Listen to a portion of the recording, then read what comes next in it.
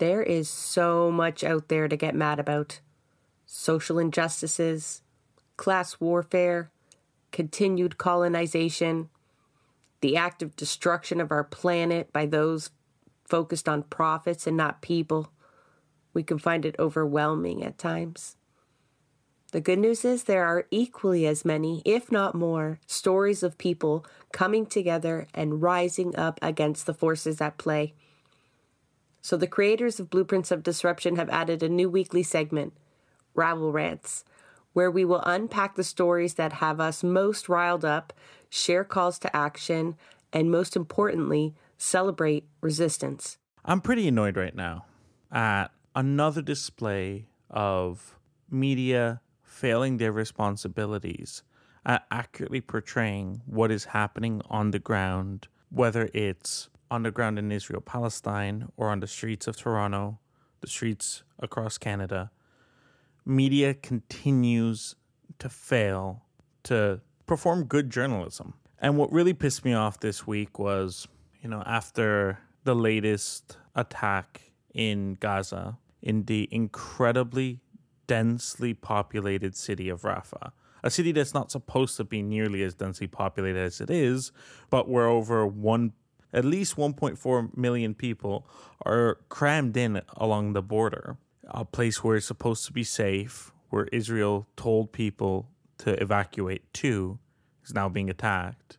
That triggered a protest uh, this past Monday in Toronto, beginning at the Israeli embassy at Yonge and Bloor and ending off at Yonge and Dundas Square, walking around a lot of different landmarks across the city. I went out because I wanted to to cover this, to cover into a story, which didn't end up working out for me. But I was shocked the next day to see the narratives that were going around on social media. Uh, and eventually, beyond social media, it was going around on the articles of many of our largest platforms that supposedly this protest targeted Mount Sinai Hospital. I cannot emphasize this enough. That's not what happened. I was there. That that is not what happened. Some of the folks are using the word targeted, and I, that's been repeated many, many times over. You know, Trudeau, Jagmeet, Olivia Chow, you, and then plus your usual suspects. But Bonnie Crombie, I think, took the cake here. And this is kind of the image that I think other people are having of this protest. We're going to hear from you of exactly what happened, but I got to read Bonnie Crombie's tweet. The Ontario Liberal leader, right? She's a hopeful for Premier. She says, I've been torn up by the accounts of protesters infiltrating Mount Sinai Hospital, intimidating Jewish patients and doctors, and threatening our already weakened healthcare system.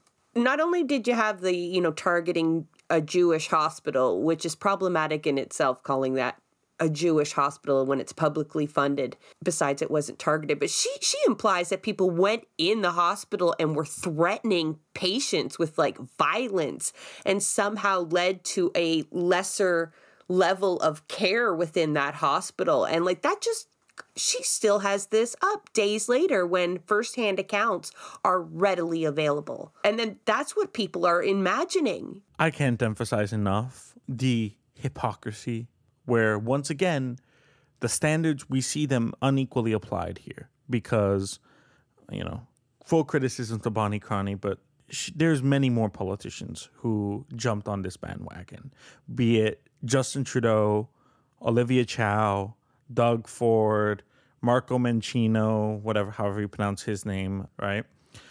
Now, when we want to talk about who's attacking hospitals, a hospital in Rafah was just shelled. So we know Israel attacks hospitals. They've attacked multiple hospitals. We know that, and you haven't seen the condemnation for that. You know, uh, you know, Doctors Without Borders has been talking nonstop about the, the the attacks on medical institutions in Gaza. Let's talk about Ontario hospitals for a second. Who's attacking Ontario hospitals? Doug Ford put out a statement. He hasn't stopped attacking Ontario hospitals with his policies. Freezing the wages of nurses, uh, failing to invest adequate funds in hospitals. You want to talk about who is a legitimate threat to our medical institutions? The same guy that is complaining about people climbing outside. But anyways, let's let's get into like you know how this actually happened because I was there when there wasn't anyone at Yonge and Dundas. You know, I got there about an hour early, saw the crowds, you know, build up. At a certain point, people were, and this happened really early on, people were uh, because Yonge and Dundas, uh, sorry, uh, Yonge and Bloor is under a lot of construction. Uh, so there was tons of scaffolding. People were climbing from the very beginning. I climbed some scaffolding to get some good pictures, you know? Good for you. That's impressive. And that is not unique to that rally. No. If anybody's been, there's always someone claiming a lamp post. Spider Man is not even new to the scene himself.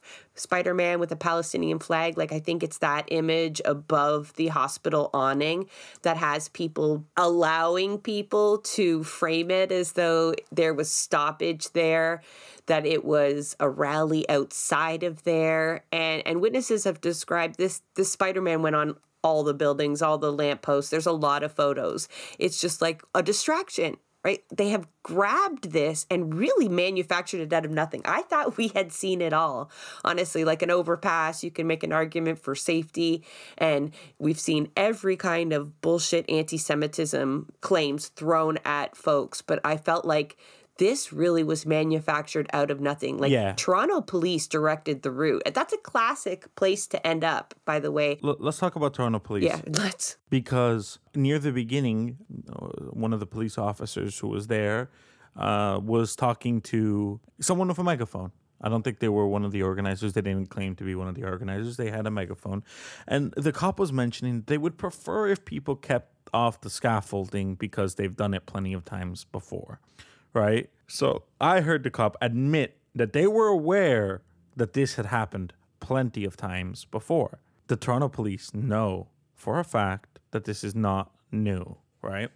But anyways, you know the route. You know, start marching south along Yonge Street, turn on uh, College by the Toronto Police headquarters. They end up in front of Queens Park. March south towards what? Well, the American Embassy. On university there. Yeah, it's right beside there. As is Sick Kids Hospital, it's Hospital Row. Toronto Rehab, tons of hot like Hospital Row, yeah. And every little bit they stop. Why? Because the people at the front and the people at the back are typically tend to march at different paces. You don't want to spread it out too thinly. So they stop every little bit to let people catch up. My favorite part about this is the people who don't understand that are outing themselves as never have fucking marched for anything. Right? Like, if you, the fact that that has to be explained to a lot of people that, yes, okay, you can find footage of people not actually moving their feet at one point. But you were saying like, media was there all along. So they saw the stop and go. And, and again, it's like not new to this protest at all. None of it, none of it is unique, not the route, not the the pace, not the shenanigans, but they are just so desperate to distract us from what is happening right now, right? Because it's just going to be so horrendous and all of them have been on the wrong side for two or three days now. I'm a little put out. Two or three days now, a lot of the Toronto organizers specifically are spinning their wheels and using their energy, issuing statements, trying to pull out the receipts that they didn't do what people are saying they're doing, and trying to get their voice out there so to counter this ridiculous narrative. And and meanwhile, you know, in Rafah, where our eyes should be. And it, I'm so sick of this shit distracting us. Yeah, but but it is important because I think this is a, an example that we need to learn from in terms of media coverage, and and I will get to that right. But so along the route, um, Palestinian Spider Man, and he's not the only one, by the way. There were plenty of other people climbing things. He's climbing lamps. He climbed a statue. He climbed up a parking lot. He climbed up. I don't even know how he got onto this one rooftop near the Eaton Center. Like he climbed up on everything. Where do people find the energy? I, I have no idea.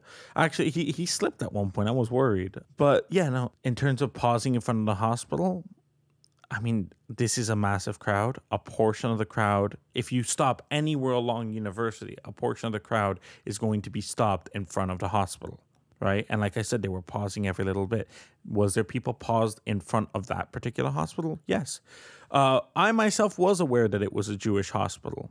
It's pretty obvious to me, like the logo, um, but most people have no idea. There was nothing different, whether it's the chants, whether it's the energy in the crowd, whether it's what the uh, folks on the truck leading uh, the protests were saying. There was nothing unique about that moment whatsoever wasn't like it wasn't even the most impressive place Palestinian Spider-Man climbed up on, if I'm being honest here. The part that really gets me, because you, you mentioned, you know, the wasted energy here.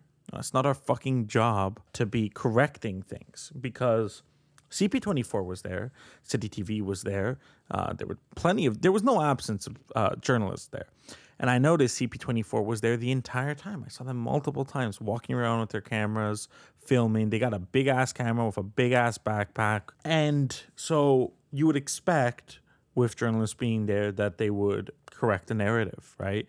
But no, I saw CP24 publish an article where they quoted, you know, Marco Mendicino, Justin Trudeau, Doug Ford. I think they quoted someone from the hospital, and that was it. They didn't talk to any of the organizers, and they did not correct the narrative whatsoever. Eventually, uh, after multiple articles were coming out, eventually, I think it was City News gave a chance for somebody from uh, Toronto for Palestine to go on record about this, but it took a long time, and the story had run away by that point what is the point in media witnessing thing? Like we talk about that need for media to have access and to bear witness. And what is the point of them being there to bear witness to it all if they can't attest to what they saw with their own eyes? And that goes for toronto cops too. They're now investigating it. They're they're allowing all of this well they love when this happens right? They can now justify even more uh, spending on this, but they're investigating it as a hate crime.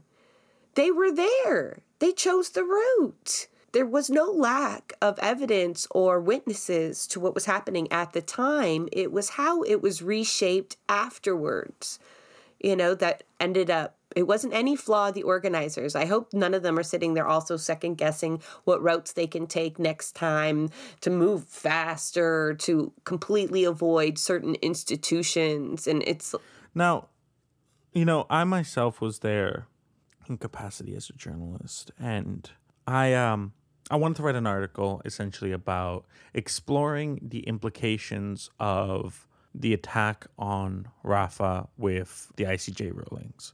I couldn't publish because I didn't have an opposing source. I emailed 15 people, nobody got back to me. That was what my editor told me. And and and to be honest, if if the newspaper is intending to be impartial, it's pretty standard proceeding. It was reasonable. I understand why. I get it. What really pissed me off is that there was no opposing viewpoints whatsoever in the articles that were being published by uh, CP24 and, and various other platforms. They were not being held to the same standard that I was being held to. And, and that's the part that really, really gets me because we mentioned, you know, the, the double standards. Israel literally infiltrated a hospital with an armed attack team to kill people. Some video. You can see them dressed up as doctors holding assault weapons.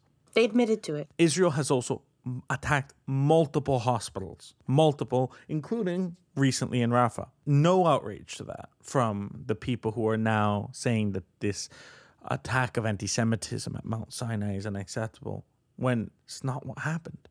But the scrutiny is just not there. There's not the same level of scrutiny. And I saw people were inviting these big platforms. They invited CP24. They invited, you know, whoever would come. And and I get it.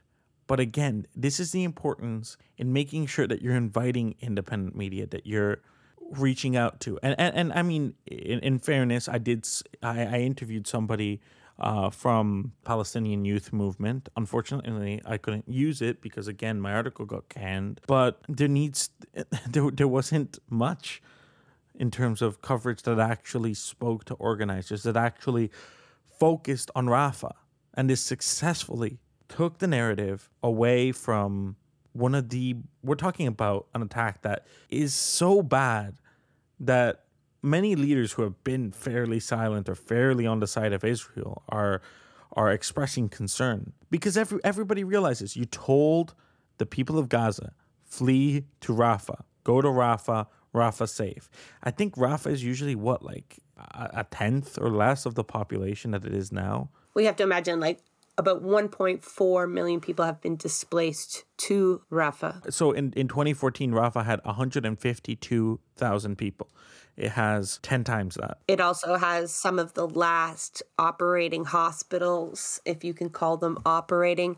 Nasser Hospital, with which I believe is actually in Khan Yunis, was overrun by Israeli soldiers this week. They indiscriminate executions of patients bulldozing of graves outside uh, because hospitals are forced to create mass graves outside of their doors because it's not safe to go any further outside of the compound because of sniper activity.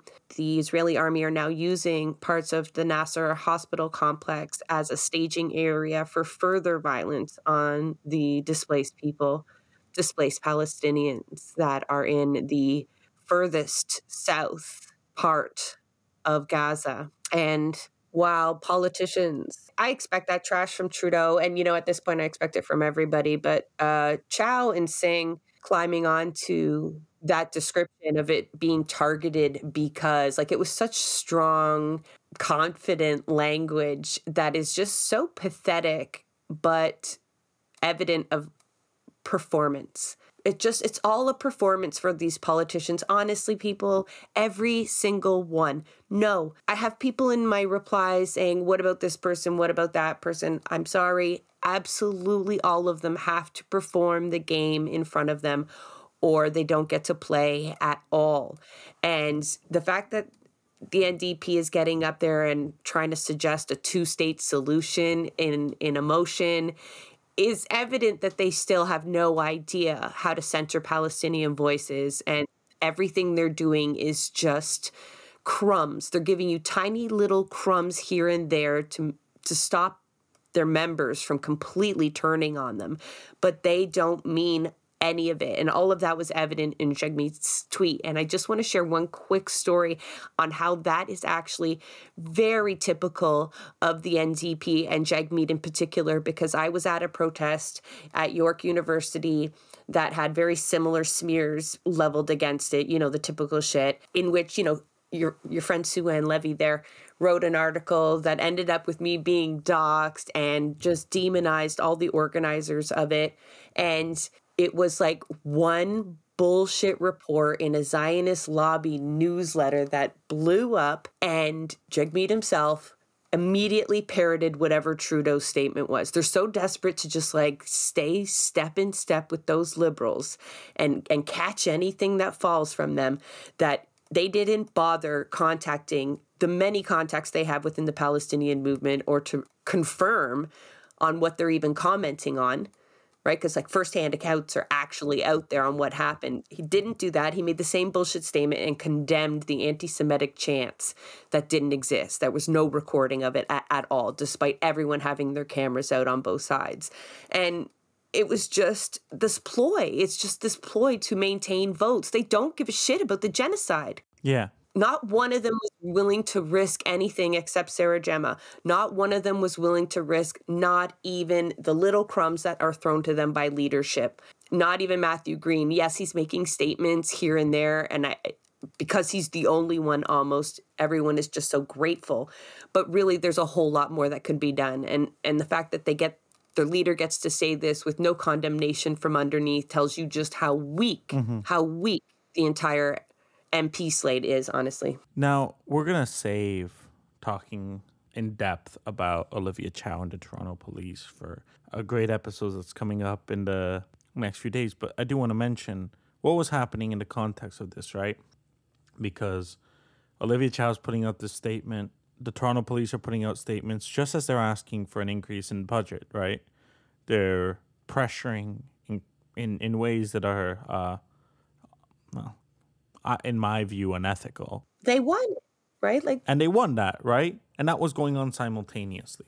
The same day, literally the same day, there was a a report that came out on Monday in the morning from Amnesty International looking at four Israeli strikes in Rafah, three in December and one of them in January, where 42 children were killed, 95 civilians, and this was in Rafah, and they found that there was zero evidence or justification that these were in any way justifiable as legitimate military targets. And they're saying it's a war crime. That came out in the morning of attacks that happened before the latest attack on Rafah, because this isn't, there's been attacks on Rafah.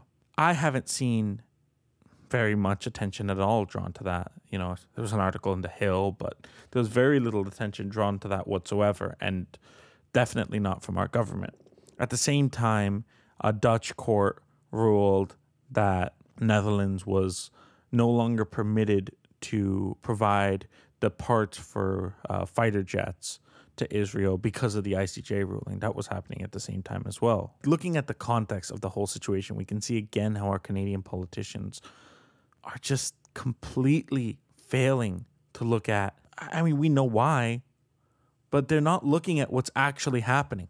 They're not actually concerned in the slightest about whether or not they're going to be held accountable by these ICJ rulings. They should be because they're continuing to provide arms. We saw the Maple broke the story, right, about the increase in arms sales to Israel since October 7th. That Maple story has gained very little traction, even though, I mean, it's gained tons of traction in progressive Twitter spaces, but the politicians have failed to mention it whatsoever, even though they have been claiming since the beginning that the only aid Canada has been providing is non lethal aid. And we, of course, know that. Um, There's no such thing. If you're aiding a military, it is lethal, it, even if you were fucking feeding them. Because if they didn't have, then why do they need it, right? If they need it to operate as a lethal entity, then it's lethal. It doesn't have to go through your body. To, to use a sports metaphor, because F1 is on my mind right now. It's like when a couple seasons ago, Red Bull exceeded the uh, the the spending cap,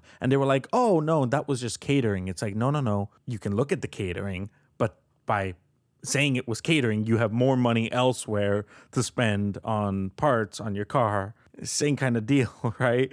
You give them non-lethal aid, it frees up their ability to spend more money on on weapons, right? And and for the record, talking about aid it's been days of Israeli settlers blocking the routes with which humanitarian aid can enter Gaza. If Israel was following the ICJ proceedings, it doesn't matter if it's not the military doing this, there are obligation to prevent people from blocking that aid. They have to allow that aid to enter because it is possible, according to the ICJ rulings, that there is a genocide and they must do everything in their power to prevent it. I think at this point, though, I know we did an episode on how validating that ruling was, but the very next day, Israel told us that they weren't going to follow any of it, that they did not feel like it applied to them whatsoever, because there's been nothing but barbaric violence since then. Hind Rajab, she was a young girl in Khan Yunis in the Gaza Strip. And her mother had called the Red Crescent, the Palestinian Red Crescent, and was actually executed while she was on the phone. And young Hind called back asking for help and described being in a car surrounded by her deceased family members. You can only imagine the horror, and this is with the Israeli army right outside of the vehicle, a tank, as described by the first phone call. The Red Crescent worked with the IDF for days. It eventually took them about two days to send a paramedic unit out there, an ambulance and two paramedics out to the spot where they believed they'd find Hind in the vehicle. And like I said, arrangements were finally made with the IDF, uh, but they lost contact with the paramedics very soon after they arrived close to the spot that they were going. And days later, so 12 days after Hind called, they found all of them dead, completely obliterated the ambulance as it arrived, and Hind was also gone. These are like real people. These are family members. These are heroes, the paramedics trying to save people and continually being bombed by the IDF We've seen so many ambulances bombed. Like if we're talking about targeting health services, they have admitted to targeting ambulances and we have seen them destroy hospitals. We know there's children being operated on without anesthesia. There are women giving birth via C section without anesthesia or any aftercare. That's an attack on healthcare. I want to take a minute to talk about Sidra Hassouna. She wanted to be a science teacher.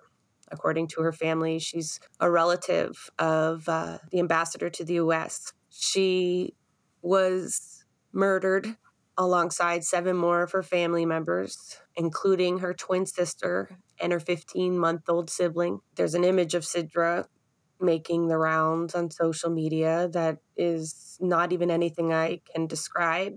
There's a much better video you can see Sidra running with her twin sister 12 hours before the bombing in a this fluffy kind of tie-dye print rainbow colored hoodie that looks identical to something my daughter wears. And her and her entire family were wiped out by a bombing that Israel admits was simply a diversion in order to rescue two hostages. They rescued two men, uh, one in their 60s, one in their 70s, from a, what they described as a civilian home.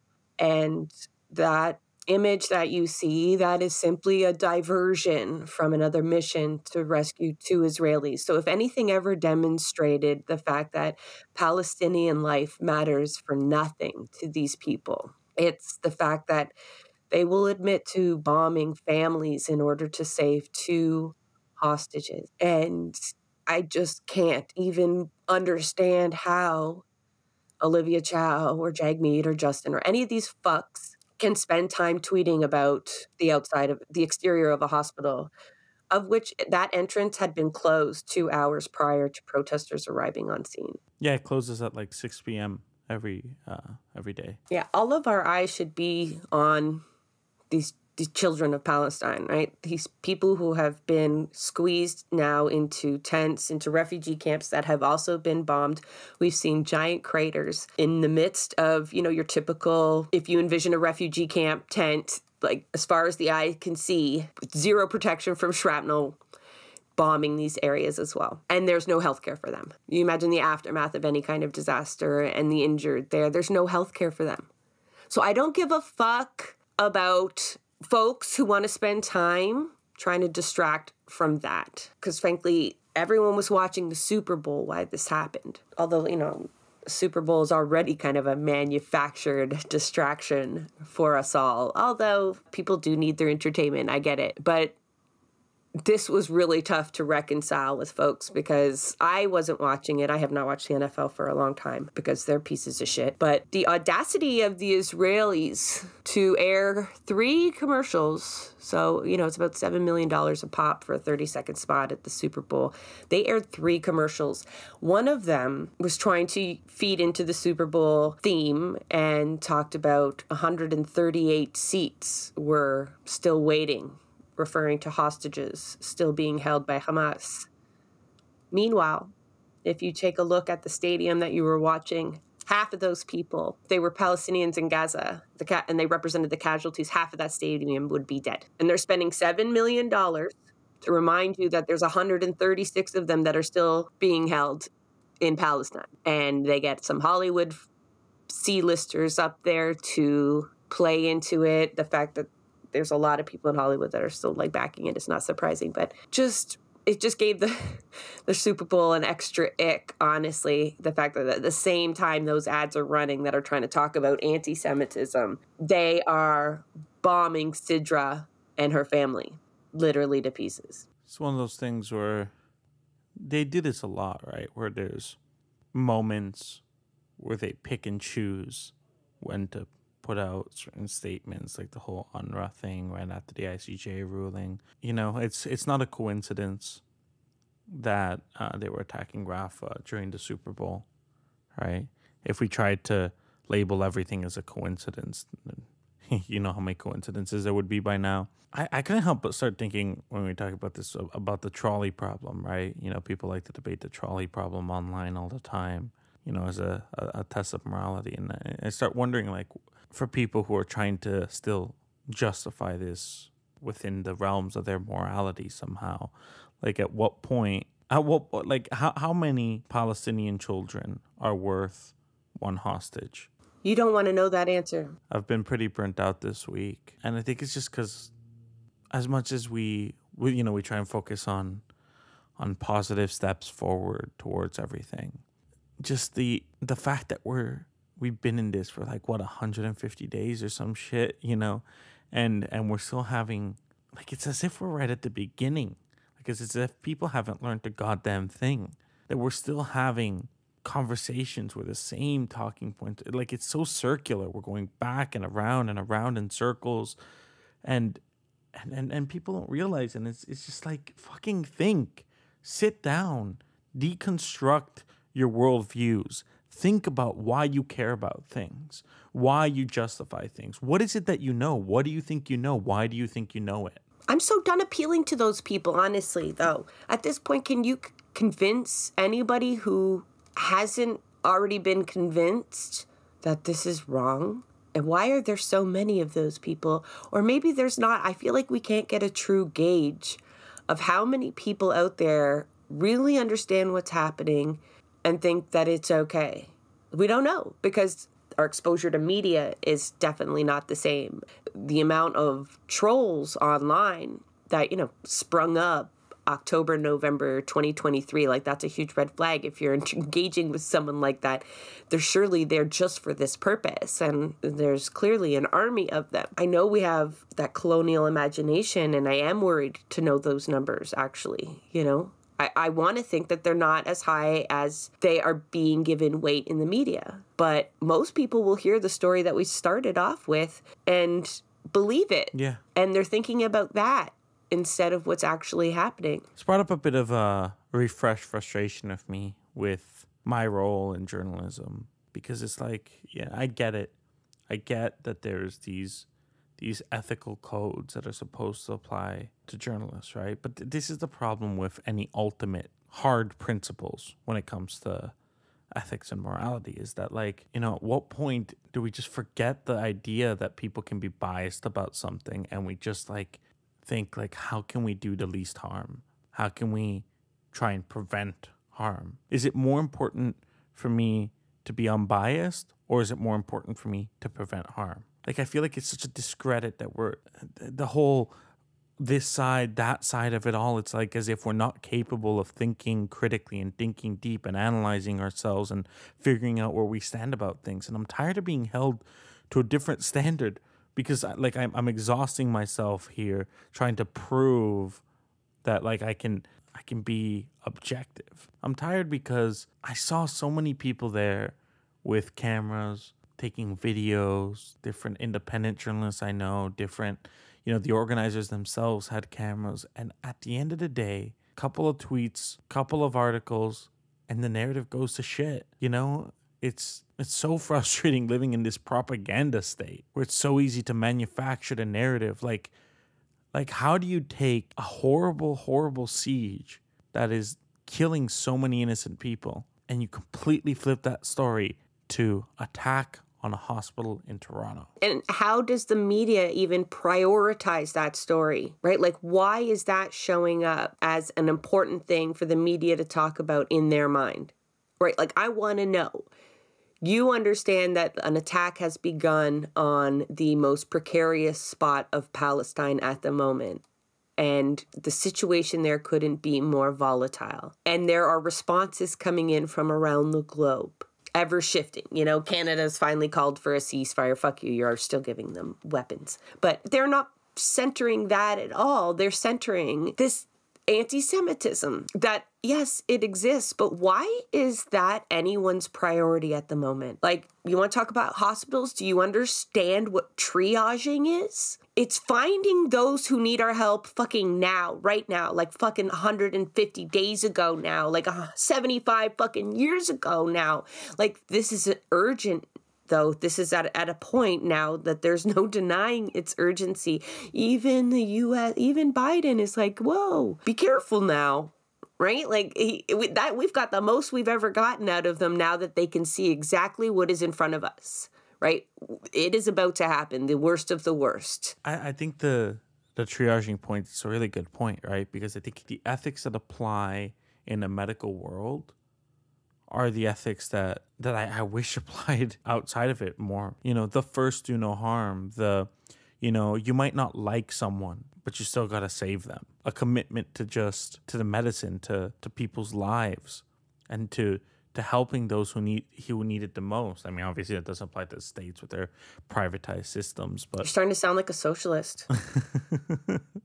hopefully, Because right now, profit drives everything, right? Like they aren't helping not because they're heartless individuals. I'm sure Trudeau loves his kids, his kids, maybe has warm fuzzies, but these are dollars and cents to these people.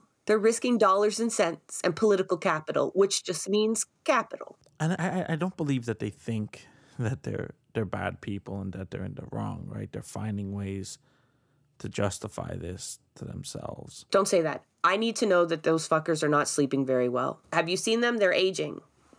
I, need to know that this is bothering them because then I don't even understand humanity anymore. Okay?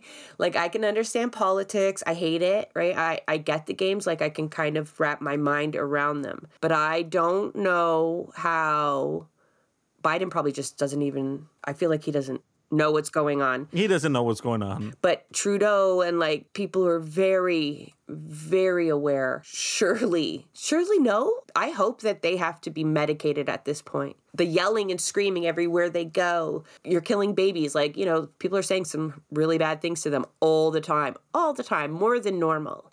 And then on top of that, they know they are getting more updates than we get. And so he knows the level of death and destruction that he is responsible for and that they all play a hand in. I I don't know. I I the fact that you might be right scares me that that they can somehow reconcile this. They can distance themselves cognitively, but I hope they're paying a price mentally, honestly. Some It's gonna sound. This is gonna sound like a kind of out there reference, but I was um, rewatching uh, Better Call Saul in the last little bit, and I was thinking about how, in many ways, the whole Breaking Bad cinematic universe is an exploration into moral justification. All of the different characters, there's so many times when like it's asking the audience to support something that might be morally wrong, but that we find different reasons through context or different things to justify. But then a different character that we don't have the same context does the same thing, and then you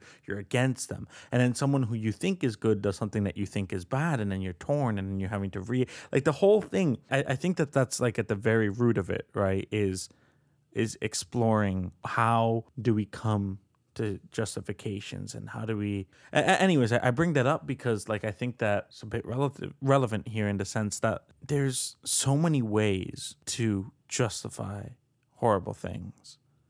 There's so many ways. And the less that we think about it the easier it is to justify like the less that we really think. And i think that you know forget po- politicians are a, a bit of a lost cause right? But what really gets me is like i can't stop thinking about that one cp24 journalist who was there watching everything and it's like i i, I wish i underst- i wish i knew what they were thinking about. Were they thinking about Rafah? Were they thinking about what it would be like for your apartment building to fall down on top of you without you having done anything to deserve that. Not that anybody deserves that. Like, were they thinking about what, what it all even means? What it means to be somebody with a platform in a country built on genocidal colonialism, in a moment when genocidal colonialism is taking place? Like, most Canadians don't let that thought enter their brain. but I mean, y- they still went out. There was a protest, emergency protest for Rafah, and they were there for four hours. They had a camera, they had a microphone, they recorded, they talked to people. And and at what point is it like I'm just here to do a job? I'm not thinking. I am a mindless robot and I need oh, this person of high status put out this statement, so I must quote them. And this person here. And oh, well that's four statements, so I guess I don't need any more and I shouldn't talk to the organizers. I know this is a bit of a chaotic rant and a bit out there, but I just feel like I don't understand how there isn't conscient more conscientious objectors. At what point do you just have a moment where you have something that's worth a little personal sacrifice and you stand up to your editor and you say, I understand that there's these rules that I've been following for years and that this is how things are supposed to be because that is the way that we've always done it. But I feel like maybe in this moment in time, these rules are not doing justice our obligations as people and my sense of humanity. And arguably to the purpose of the press in the first place. It was supposed to be a check and balance. What? It's supposed to be a watchdog. Right. And so if you are not checking, if you are not challenging politicians on their statements or the police on their statements, either by questioning them with knowledge that you have at your disposal because you were either there or because you're covering a fucking story on X. So a little bit of research ahead of time is a responsibility. But, you know, then we have folks come on and describe just the state of Canadian media and the budgets that are allocated to journalism and that investigative journalists quite often or anything but if they're with the major outlets or reporting on a story that you know has been encouraged it's it's a sad state of i think affairs for all of canadian media. And like all these factors play into this really weak representation because police will always have statements politicians always have statements like they have entire staffs dedicated to getting those out there. And so the, that's that's low hanging fruit for a really busy journalist. But trying to figure out what keffiyeh wearing person with a megaphone is the person that will give you a statement you know that requires a little bit more work. And we're just not seeing that get done. The motivation's not there. You know it's getting done by independent journalists but not not those that are working for the, the, the outlets reaching the people that we need to get a better idea of what's going on. And I mean, it's also like a little bit of just like it took them a while to get there. But remember how I mentioned that I got there really early, right? Uh, I was standing on a corner and I started talking to a Palestinian man there. We were just talking about life, and he told me his Nakba story, right? About the tiny village in the north of uh, Palestine, close to the Lebanese border, and he told me about how the village beside his had been wiped out. You know, they went in with guns and and somebody escaped and went to his village and warned them and how because of that they were able to flee to Lebanon. And he told me about refugee camps and and life in Lebanon and I, was just thinking like are they having these con like have they ever heard this? I know like there's still people out here who who talk about, oh, the Nakba didn't even happen, you know, all these deniers and stuff. And it's like, just this simple co- conversation was such a devastating history, you know? And I, by pure coincidence, that I even heard it in that moment. But it's not rare at the same time. It's, it's, it's not rare. You don't see the features that talk about that. You don't see Anna Litman getting featured by the Toronto Star to tell her story of protective presence in the West Bank why not? That's a great story. You know, it, it, it, like that was the type of thing that like in it's not rare in other conflicts, you know, it's definitely not rare in the Ukraine conflict, right? You see these things. It's kind of standard practice. Let's get an inside look on the ground. What is it like? I want to hear about the guy who who who's offering, you know, pack of smokes. I want to hear about the the playing soccer in in the backyard and trying to normalize things and the simple acts of hospitality and the simple like these are the things that like usually journalists get pretty excited about sharing you know? Let's humanize things.